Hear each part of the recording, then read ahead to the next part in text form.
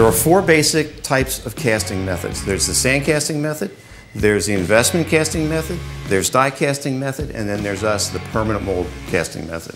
Permanent mold casting is closer to the die casting surface finish, but you're getting a lot closer to a sand casting cost.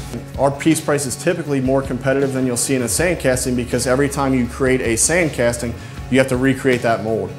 Whereas in permanent mold casting, it is a permanent mold cut out of steel. Sand castings are used when you want cheap tooling and you don't need a lot of good quality surface finish and tolerances are more wide open. Sand castings, they'll get variation from part to part. You can definitely have gassing issues in sand casting. Die casting is for high volume products. So if you're an automotive guy and you're using hundreds of thousands of parts, you got to go die casting.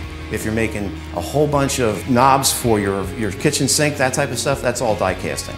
That's when you're spending a boatload of money on a tool up front but you're expecting a really cheap piece price. Our tooling in permanent mold is typically a fifth of what die casting would be. Tooling costs for all four processes. The cheapest is going to be sand casting. Uh, investment castings are not that expensive tooling wise.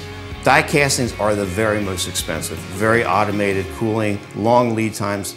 You know, 50, 100, $200,000 for a die cast mold is not out of this world. Investment casting can cast any alloy. That's their uh, that's their sweet spot. So you can cast Inconel, you can cast stainless steel, you can cast aluminum, you can cast iron.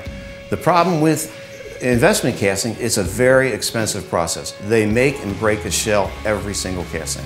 So your piece price is going to be significantly higher. So permanent mold is good for moderate volume, nice size castings, not tiny stuff, pound to two pounds up to 100 pounds.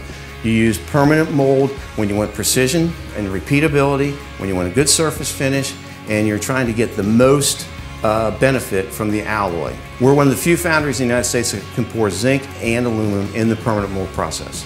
How do you choose the casting method? Send me the drawings, send me the models. We're the experts. We do castings 24 hours a day, six days a week.